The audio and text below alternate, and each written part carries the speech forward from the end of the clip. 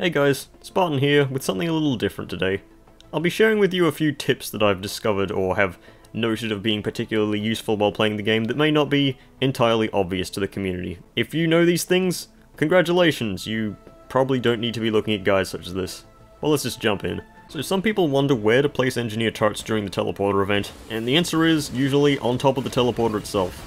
Yes, you can place them up here without any mobility items, and as long as you do not place them so that there's nothing below them, they will get any bungus fields, and it is quite easy to overlap them still if you have like three or four bunguses. Doing so makes it so that certain enemies will not be able to hurt them. Beetles and beetle guards have absolutely no way to attack them, and mini mushrooms will have a lot of a harder time actually hitting them with their mushroom cloud, which can be very dangerous to turrets, so hey, it works pretty well. I wouldn't be surprised if a lot of people already knew this one, but the easiest way to deal with Stone Titan, considered one of the hardest of the early bosses, just stay close to it. You literally can't do its beam attack if you're too close, so as long as you don't have drones or turrets or useless friends, then yeah, you'll have absolutely no problem with this. Even its body blocks shots from other enemies, so just stay between him and the enemies, and you'll be completely fine.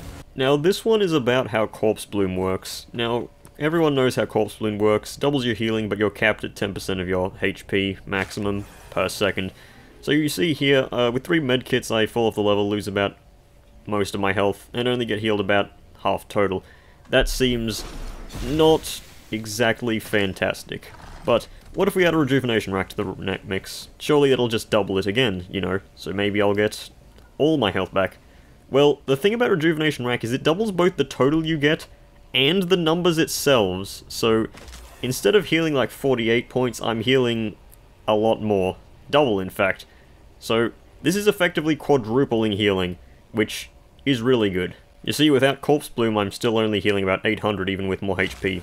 So Corpse Bloom isn't actually dead during the late run, so I recommend taking it regardless. And the final tip I have for you today is money laundering, at least that's what I call it. This is basically when you have Ghor's Tome treasures or Shrines of Pain at the end of the level, and just before you disappear you pick them up or hit the shrine, and you can carry forth a lot of money into the next stage. This doesn't seem like much, but when there's a lot of useless money at the end of the stage since you've killed everything at the teleporter event, carrying that over just to get a little extra faster looting is actually really helpful in the long run. And that's about it. This was just kind of a spur-of-the-moment thing while I was busy with other projects, and I could make this really quickly. So yep, hope you enjoyed the video. Later.